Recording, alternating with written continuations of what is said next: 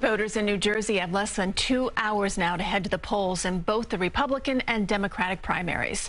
Democrats have controlled the state legislature in New Jersey for nearly two decades, but now Republicans believe that they could gain control of the assembly. In all, there are only 18 contested legislative primaries, and most of them on the Republican side. Polls close at 8 p.m. tonight.